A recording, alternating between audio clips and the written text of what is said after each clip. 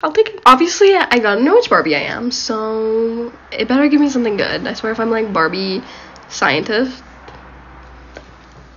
Oh, I like this one. Yeah, I'll go.